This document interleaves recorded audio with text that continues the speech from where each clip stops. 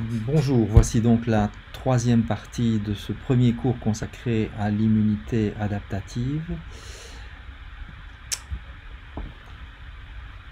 Et plus spécifiquement à l'organisation euh, des, gènes codants pour les immunoglobulines et à la génération de ce phénomène euh, particulier qui est la diversité de l'immunité adaptative. Nous allons ici parler de l'organisation des gènes des immunoglobulines, mais les concepts qui sont en cause sont exactement les mêmes, à quelques exceptions près, pour les gènes qui codent pour le TCR. Alors pour rappel, une immunoglobuline est constituée de deux chaînes lourdes et de deux chaînes légères.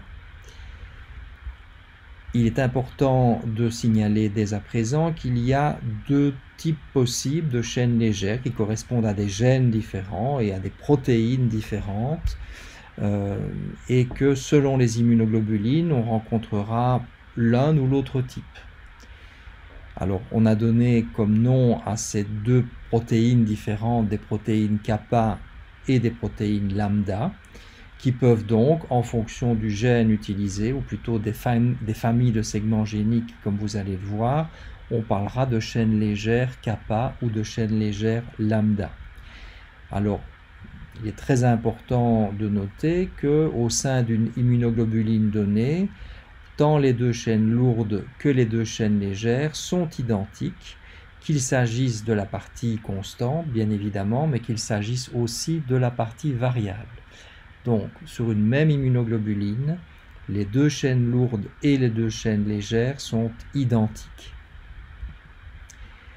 Alors, comme je viens de le dire, il y a deux types possibles de chaînes légères en fonction du gène utilisé, euh, qui sont soit kappa, soit lambda. Et sur une immunoglobuline donnée, on trouvera soit deux chaînes kappa, soit deux chaînes lambda.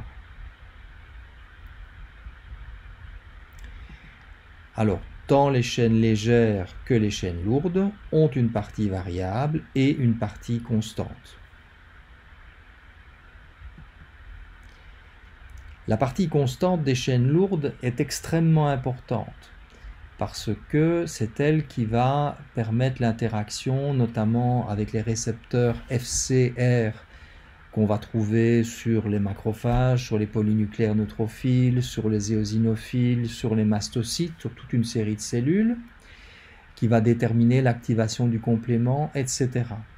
Donc la partie ou portion, peu importe, constante des chaînes lourdes est essentielle pour déterminer les propriétés fonctionnelles de l'immunoglobuline. Pas la nature de l'antigène euh, sur lequel l'anticorps va se fixer, ça c'est la partie variable, mais les propriétés euh, de l'immunoglobuline en termes d'activation des réponses euh, phagocytaires par exemple ou d'activation du complément. Très important, il y a en fonction encore une fois des segments géniques qui vont être utilisés, vous allez voir pourquoi j'emploie ce mot segment génique plutôt que gène. Euh, en fonction des segments géniques qui vont être utilisés pour, euh, euh, pour transcrire le RNA messager et, finalement pour traduire la protéine qui va constituer l'anticorps, en fonction de ces segments géniques, on va avoir des chaînes lourdes différentes et des classes d'anticorps différentes. C'est le segment génique de chaîne lourde qui code pour la partie constante de la chaîne lourde qui va déterminer la classe à laquelle l'anticorps appartient. Classe ou isotype, c'est pareil, ce sont des synonymes. Commutation de classe, commutation isotypique, c'est pareil. Il y a cinq classes possibles d'immunoglobulines, très important à retenir, qu'on va appeler IgM, IgD, IgG, IgE et IgA. Et vous verrez, il y a même des sous-classes puisque les segments géniques correspondants ont subi des duplications et on a des petites variantes. On aura par exemple des IgG 1, 2, 3, 4, des IgA 1, 2, etc.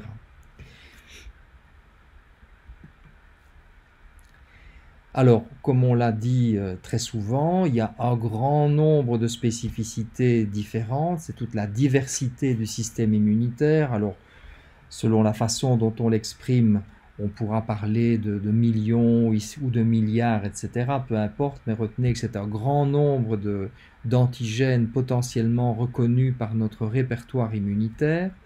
Et bien évidemment, vous l'avez compris, il est impossible d'imaginer que toutes ces protéines différentes, puisque les anticorps sont des protéines, euh, soient codées systématiquement par un gène différent. Donc il y a un autre système qui va générer la diversité, et comme on l'a vu dans le cours d'introduction, c'est un système de réarrangement de aléatoire de segments euh, géniques. Et c'est donc la notion de variation somatique. Qu'est-ce que ça veut dire somatique?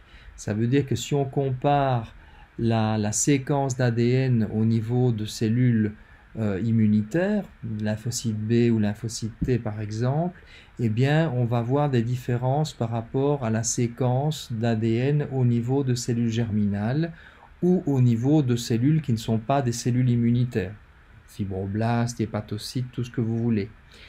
Donc ce sont des variations somatiques qui sont euh, responsables de cette diversité présente au niveau du système immunitaire.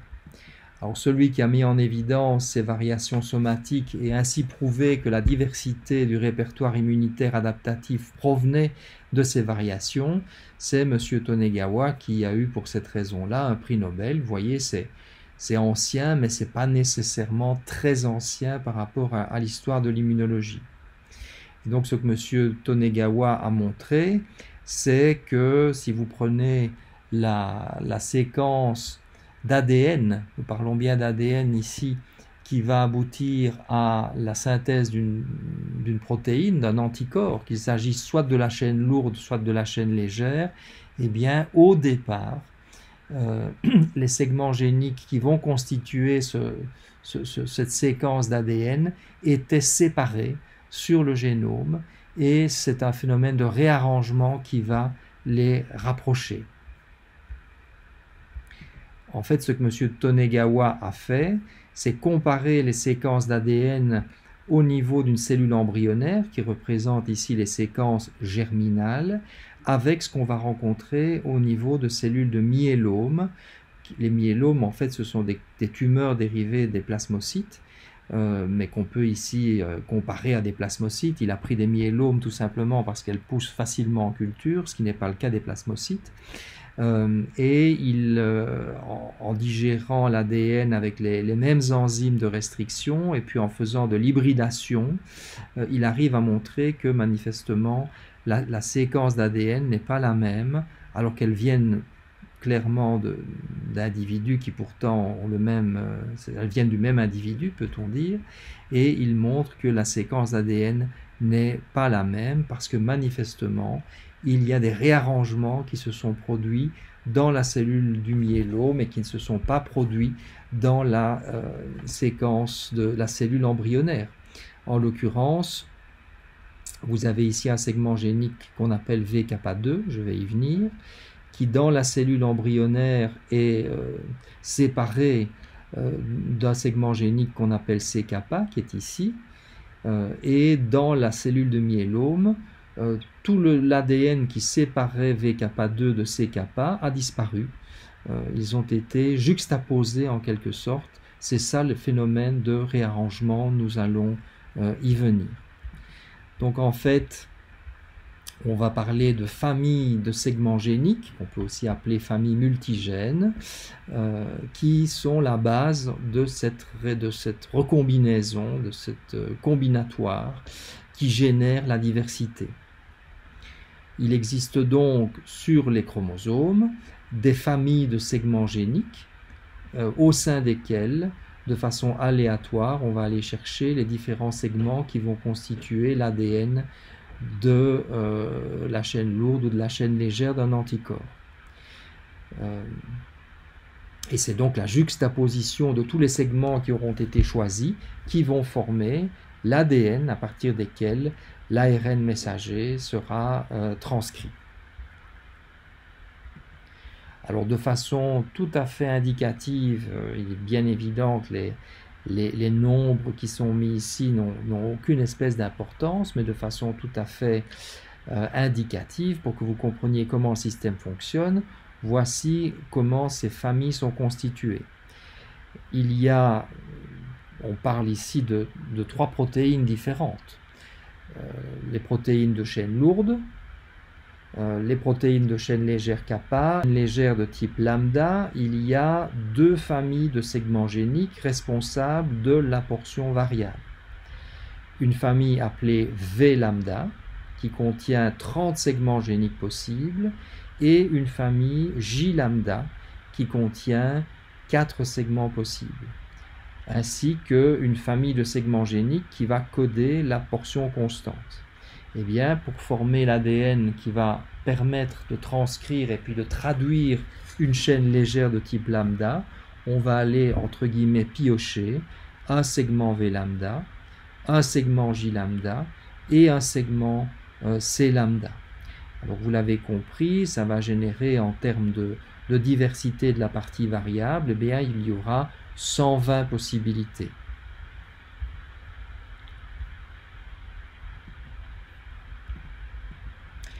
De même, pour les chaînes légères de type kappa, c'est exactement le même type de, processus. Il y a 40 segments d'IV kappa, 5 segments de type J kappa et un seul segment pour la partie constante, C kappa. Et donc pour former une nouvelle séquence d'ADN, donc un nouveau gène en quelque sorte, euh, qui va euh, permettre la, la, synthèse de cette chaîne légère kappa, on va aller piocher un V kappa, un J kappa et le C kappa. Vous l'avez compris, le V évidemment c'est pour variabilité, le J c'est pour jonction, jonction avec la partie euh, constante. Ça c'est pour les chaînes légères. on a le même topo pour les chaînes lourdes. Euh, simplement, elles sont lourdes, donc ça veut dire qu'elles sont plus longues. Et si elles sont plus longues, bah, il va y avoir une famille en plus.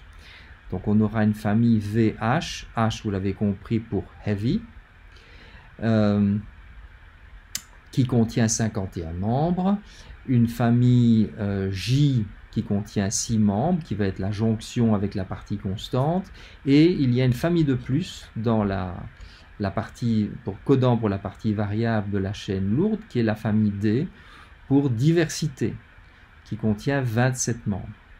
Là, vous l'avez vu, la diversité va être plus grande, 51 x 27 x 6, qu'il faut combiner avec la diversité des chaînes légères, donc on atteint déjà une certaine diversité.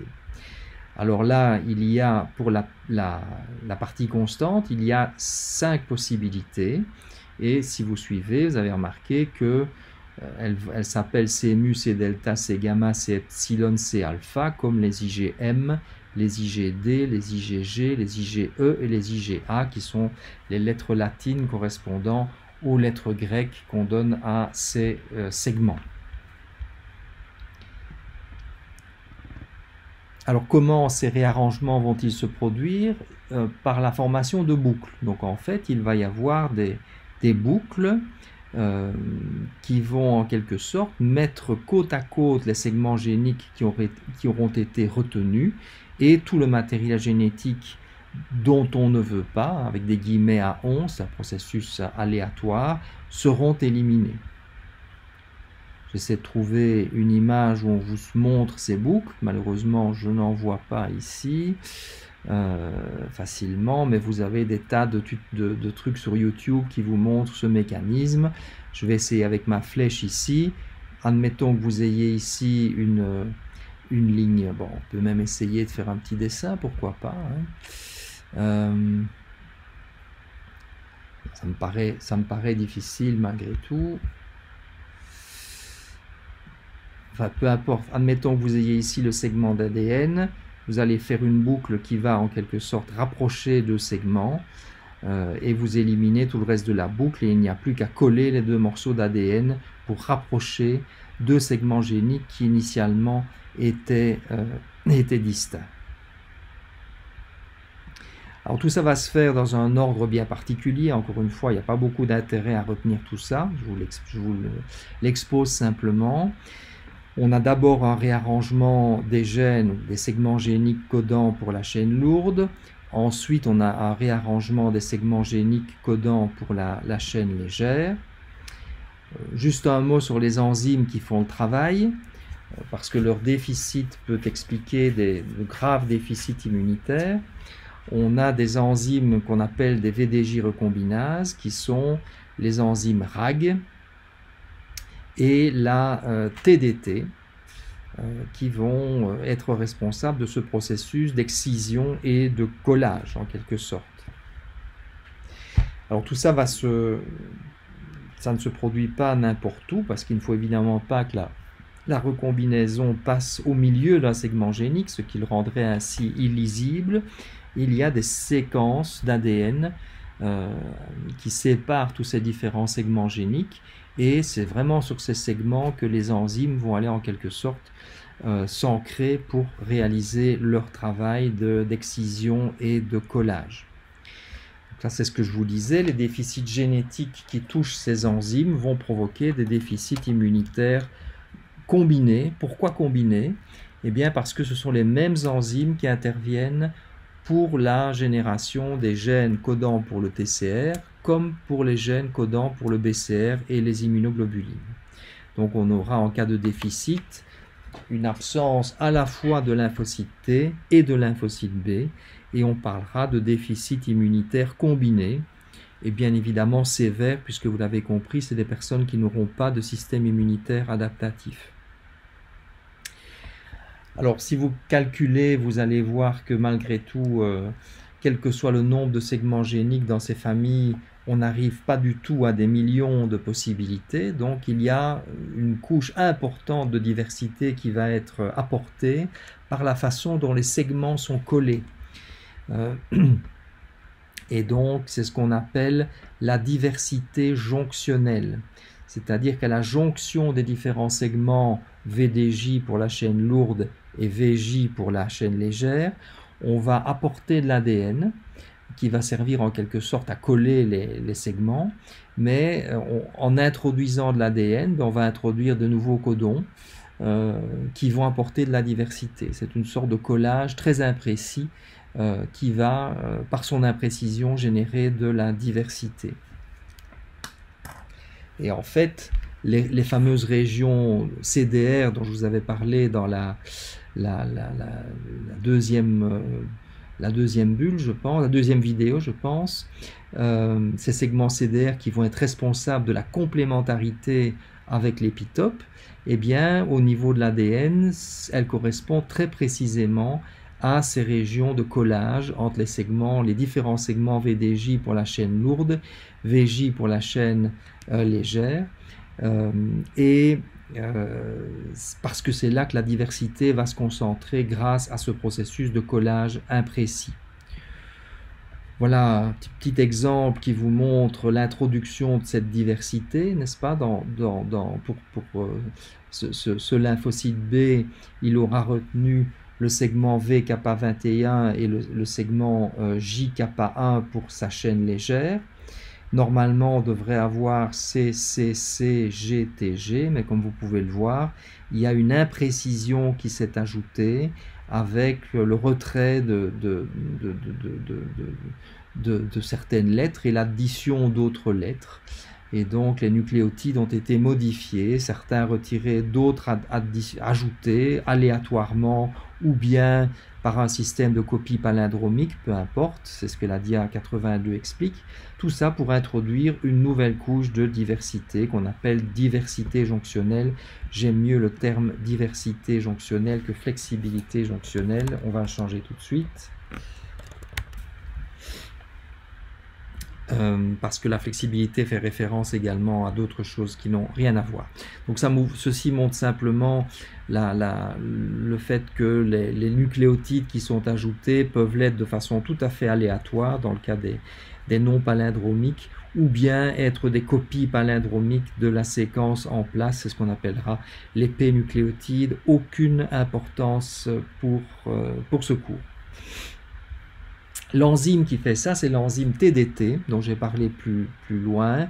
Et cette, euh, enzyme TDT, euh, en cas de déficit, peut donner un répertoire qui est là, mais qui est extrêmement peu diversifié par rapport à un répertoire normal, avec des conséquences que cela peut avoir. Alors vous l'avez bien compris, ces codons sont générés de façon totalement aléatoire, ce qui, dans certains cas peut aboutir à des codons stop. Hein. vous connaissez tous le codon stop, tag. Euh, et donc dans certains cas, les réarrangements seront des réarrangements productifs. Dans d'autres cas, ce seront des réarrangements non productifs. Alors, très important évidemment, euh, vous l'avez compris, tous ces gènes, tous ces segments géniques sont, portés sur, euh, sur les chromosomes et pas sur le chromosome X, ce qui veut dire que euh, on va systématiquement lancer le processus de réarrangement en parallèle sur chacun des deux, des deux chromosomes, le chromosome paternel, le chromosome maternel, euh, aussi bien pour les chaînes légères, kappa et lambda que pour les chaînes lourdes. Et donc il faut des systèmes dits d'exclusion allélique pour que seul un allèle s'exprime pour la chaîne lourde et seul un allèle s'exprime sur la chaîne légère, pour ne pas qu'on se retrouve avec une immunoglobuline qui a deux chaînes lourdes différentes et deux chaînes légères différentes, ce qui fonctionnellement ne serait pas une bonne idée puisque vous auriez un anticorps capable de reconnaître deux choses différentes. Alors on, a, on fait ça hein, de façon synthétique, j'en parlerai peut-être dans des cours d'immunopathologie, mais naturellement ça poserait beaucoup de problèmes d'avoir des anticorps qui auraient ainsi une sorte de schizophrénie d'anticorps qui verraient deux choses à la fois.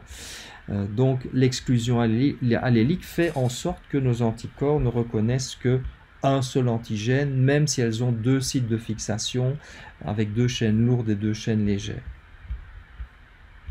Alors qu'est-ce qui va permettre cette exclusion allélique? C'est une sorte de course de vitesse. Donc ça veut dire que dès qu'on a un réarrangement productif de chaînes lourdes, on bloque les réarrangements qui sont en cours à partir de l'autre chromosome et on passe ensuite à la chaîne légère. On commence par la chaîne kappa. Dès qu'on a un réarrangement productif de chaîne kappa, ça bloque les réarrangements productifs sur l'autre chromosome qui contient les, segments géniques euh, kappa. Euh, et si on n'a pas de réarrangement productif de chaîne kappa, c'est seulement alors qu'on commence les réarrangements de chaîne lambda. Et il arrive dans certains cas qu'on n'ait pas de réarrangement productif possible et le phénomène s'arrête. Alors voici un, autre phénomène de variation somatique, mais qui est extrêmement important parce qu'il a extrêmement, il a beaucoup d'implications cliniques, donc c'est vraiment un tuyau, considérez-le comme tel. Euh, c'est ce qu'on appelle l'hypermutation somatique. Donc là, c'est un phénomène qui va toucher le produit fini du réarrangement génétique. Ce, que je veux dire, c'est que vous avez un segment VDJ C euh, dans le cas d'une chaîne lourde, VJC dans le cas d'une chaîne légère, et c'est sur ce segment déjà réarrangé que d'autres modifications génétiques vont se produire sous forme de mutations ponctuelles. Donc c'est plus des réarrangements, ce sont des mutations ponctuelles qui vont toucher un gène déjà réarrangé. C'est ce qu'on appelle l'hypermutation somatique. Évidemment, ces mutations ne vont se produire que lors des divisions cellulaires, euh, mais elles vont se produire beaucoup plus fréquemment au niveau de ces gènes, VDJ ou VDJC ou VJC, que sur les autres gènes du lymphocyte B. Alors, elles vont elles aussi se produire surtout au niveau des régions, au niveau, des, au niveau de l'ADN qui code pour les fameuses régions déterminant la complémentarité avec l'épitope. Les CDR dont j'ai parlé tout à l'heure, aussi bien les CDR de chaîne lourde que les CDR de chaîne légère. Et vous avez compris pourquoi. C'est évidemment là qu'il est nécessaire d'avoir la plus grande diversité pour avoir, parmi toutes les possibilités générées, la plus grande complémentarité possible en termes de structure. Vraiment euh, des anticorps qui vont aller euh, se, fixer sur euh, l'épitope comme, une clé dans une serrure ou, au contraire. Alors, très important aussi, vraiment des tuyaux ici parce que ça fait l'objet de beaucoup de questions très conceptuelles sur le, problème. Euh, autant les réarrangements dont on a parlé dans la première partie de cette petite vidéo, le réarrangement VDJ euh, et VJ, ça survient de façon totalement aveugle. Quand je dis aveugle, ça veut dire que ça survient en l'absence de l'antigène. Et ça survient dans les, premières années de notre vie surtout, hein, ou voire même les premiers mois de notre vie. Euh, donc l'antigène ne les pilote absolument pas. Euh, par contre, ce phénomène d'hypermutation somatique va être déclenché par la reconnaissance initiale de l'antigène et les, mutations qui vont être générées par ce phénomène, bien qu'elles soient aléatoires, elles vont être sélectionnées grâce à la présence de l'antigène. C'est l'antigène qui va déterminer les cellules qu'on va garder et les cellules qu'on ne va pas garder, tout ça en fonction de l'affinité générée par les mutations en question. C'est le concept de maturation d'affinité. Hein, en d'autres termes, vous allez avoir, quand le lymphocyte B est activé par l'antigène, avec une, affinité, je dirais, de base, euh, qui est celle euh, permise par les réarrangements aléatoires qui se sont produits des années auparavant cette rencontre, eh bien l'antigène va déclencher la survenue de mutations. Les clones dont les mutations réduisent l'affinité pour l'antigène vont mourir. Les clones dont les mutations augmentent l'affinité pour l'antigène, eux, vont survivre et on va ainsi avoir une sorte de maturation d'affinité avec un gain considérable d'affinité au fur et à mesure des divisions. Alors il y a une enzyme qui est importante pour ce processus d'hypermutation somatique qu'on appelle la ICD, Activation Induced Cytidine Deaminase. Peu importe le mécanisme par lequel ces mutations euh, sont, produites, mais c'est une enzyme importante qui est utilisée notamment parce que certains tissus tumoraux, euh, notamment dans certains lymphomes, etc., peuvent exprimer ou pas cette, cette enzyme. Alors, vous avez compris qu'il y a plusieurs mécanismes qui génèrent la diversité.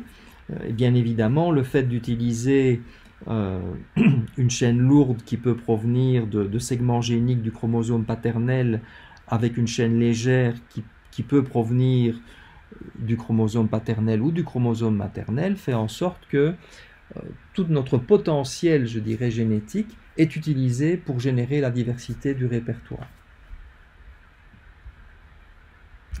Là, ça vous montre, mais il n'y a absolument aucune nécessité de retenir tout ça. Euh, que la, grande diversité au niveau de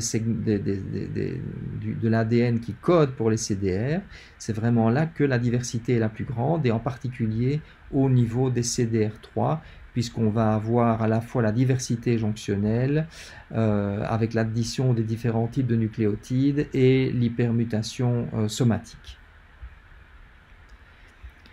Alors il y a un dernier processus, lui aussi d'une extrême importance en immunologie, euh, qui lui aussi va survenir euh, après la rencontre avec l'antigène, très important, c'est un peu comme l'hypermutation somatique, c'est d'ailleurs un processus qui va souvent être enclenché en même temps, c'est ce qu'on appelle la commutation de classe, ou commutation isotypique, c'est tout à fait synonyme.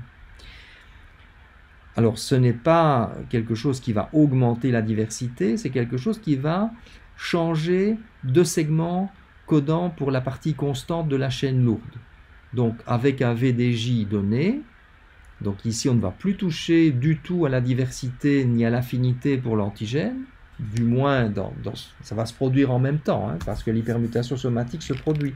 Mais le processus dont je vous parle là ne va pas concerner les parties variables ça va uniquement euh, concerner la partie constante, et c'est le, remplacement d'un segment C, H, par un autre segment CH. Donc on va, euh, avec une même, un même segment génique, euh, enfin un même réarrangement VDJ, on va successivement générer des anticorps de classes différentes. C'est ce qu'on appelle la commutation isotypique ou commutation de classe. Alors vous avez ici euh, les différents segments qui codent pour la partie constante de la chaîne lourde, c'est mu, c'est delta, c'est gamma 3, c'est gamma 1, C alpha 1, C alpha 2, C epsilon, etc.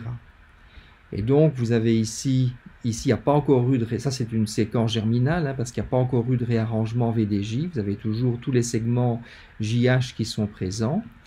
Euh, mais vous pouvez concevoir que vous ayez déjà eu votre VDJ qui a été réarrangé.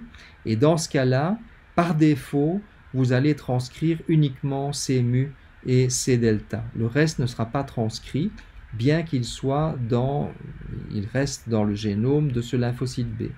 Donc, de base, je dirais, le lymphocyte B qui n'a pas encore été activé par son antigène va exprimer soit des IgM, CMU, soit des IgD pour le C delta. Ce n'est que une fois cette commutation isotypique enclenchée, que par des systèmes de boucles comme celle qu'on a vue tout à l'heure, le lymphocyte B pourra exprimer des IgG3, des IgG1, des IgA1, des IgG2, euh, des IG, je n'arrive pas à lire ce qui est ici, mais, mais peu importe, des IgE, des C, euh, des, IG, des, IgA2, etc. Donc, c'est ce qu'on vient de dire. Les lymphocytes B qui n'ont jamais rencontré leur antigène, mais qui néanmoins sont prêts à le rencontrer, c'est ce qu'on appelle des lymphocytes B matures ou mûrs, euh, expriment de base, par défaut, des IgM et des IgD, encore une fois, parce que le, segment C mu et C delta est juste en aval du segment J, hein, VDJ, de, nous parlons de chaîne lourde ici, et donc la transcription va englober ce C mu et ce C delta et s'arrêter juste après. Une fois l'antigène rencontré, ce phénomène de commutation, donc commuter ça veut dire changer, commutation de classe, va débuter et on pourra avoir voilà, les boucles dont je vous parlais tout à l'heure, et vous pourrez avoir ici un lymphocyte B qui exprime euh, une IgG3 par exemple, cet autre-là qui exprime une IgA, etc. Donc ce sont des réarrangements qui ne se font pas de façon aléatoire, qui se font selon une séquence donnée, qui se font sous l'influence de différents facteurs, notamment de cytokines, qui vont piloter la commutation de classe vers la production de certains types d'anticorps plutôt que d'autres. Il y a des cytokines qui vont favoriser la commutation de classe vers le, C epsilon et donc la production d'IgE, d'autres qui vont plutôt l'orienter vers les IgG1, etc. Euh, et ces cytokines, évidemment, sont produites par des lymphocytes T qui vont piloter la commutation de classe vers une classe d'anticorps plutôt que vers une autre. Là aussi, c'est la même enzyme qui va intervenir, la fameuse AICD. Donc ici, on a mis AID, mais on pourrait plus judicieusement remettre le C. Alors, il y a un dernier phénomène qui va jouer un rôle dans toutes ces modifications, euh, ici non pas sur l'ADN, mais plutôt sur l'ARN. C'est un, phénomène d'épissage alternatif. Hein. donc, encore une fois, Rappelez-vous de vos cours de génétique, l'épissage alternatif, c'est un processus de modification de l'ARN, non pas de l'ADN. Tout ce qu'on vient de voir dans les 20 minutes qui précèdent, ce sont des modifications au niveau de l'ADN. Ici, on parle de l'ARN. Euh, c'est la transformation d'un transcrit primaire euh, en, en, ARN messager. Et avec un même transcrit d'ARN primaire, on va pouvoir fabriquer plusieurs ARN messagers et donc plusieurs protéines différentes. Le premier exemple, c'est un exemple qu'on vient de citer il y a quelques minutes. Je viens de vous dire, si on retourne à ce que je vous disais ici, qu'un lymphocyte B mature va fabriquer des IgM et des IgD. Pourtant, le transcrit primaire va transcrire à la fois le CMU et le C delta parce qu'ils sont trop proches il n'y a pas de, séquence qui va permettre d'arrêter la transcription de l'ARN primaire entre le CMU et le C delta. Et c'est donc par épissage alternatif que ce lymphocyte B mature va fabriquer pour ces BCR à la fois euh, euh, des IgM et des IgD. Donc la particularité d'un lymphocyte B mature, c'est qu'il va exprimer deux classes d'anticorps différents pour son BCR. La spécificité sera exactement la même, parce que les VDJ seront exactement les mêmes, mais on aura à la fois des IgM et des IgD qui sont en quelque sorte la signature du lymphocyte B mature qui n'a jamais rencontré son antigène, qui est naïf. Donc c'est cet épissage alternatif qui permet de fabriquer des IgM ou des IgD. Euh, L'autre phénomène très important qui est euh, permis par l'épissage alternatif, c'est le passage du BCR à une immunoglobuline sécrétée. Hein, vous avez compris que c'était le même gène euh, qui va permettre de fabriquer du BCR ou des immunoglobulines sous forme soluble, sécrétée, mais simplement il y a une petite partie d'acide aminé qui va servir à l'ancrage membranaire du BCR qui va disparaître dans la forme sécrétée. Eh bien, tout ça, c'est l'épissage alternatif qui va le permettre, hein, c'est ce qui est montré ici. Tout le, segment d'ADN qui va coder pour cette partie membranaire euh, va être transcrite évidemment dans le transcrit primaire, mais dans l'ARN messager qui va permettre de fabriquer des IgM sécrétés, eh bien tout ça va euh, disparaître. Donc voilà, c'est la fin de cette troisième partie du quatrième cours. Désolé pour le retard et on aura l'occasion d'en discuter demain euh, si nécessaire.